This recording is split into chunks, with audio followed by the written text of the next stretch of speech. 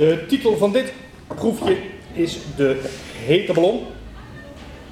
En de onderzoeksvraag is, kan ik een luchtballon boven een eh, vuurtje houden, boven een vlammetje houden?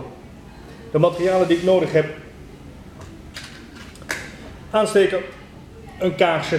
Ik leg mijn kaars op de tegel. Als ik ga knoeien met kaarsenvet, dan heb ik de tafel niet vies. Een ballon en zometeen nog wat water. De werkwijze. Ik steek het kaarsje aan.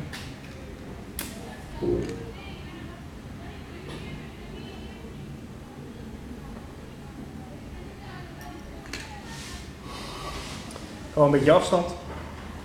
Ik hou de ballon boven het, uh, het vuurtje en kijk wat er gebeurt.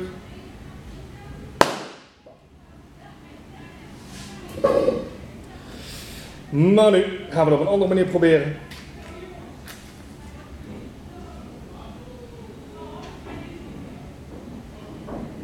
Steek het kaarsje weer aan. Ik heb nu een ballon en die heb ik voor een klein gedeelte. Het onderste gedeelte is gevuld met water. Er zit dus een heel klein laagje water in. En als ik maar zo hou, komt dat water hier. Hou ik hem zo, zit het water hier. Nou hou ik hem dus met de onderkant boven het vuurtje.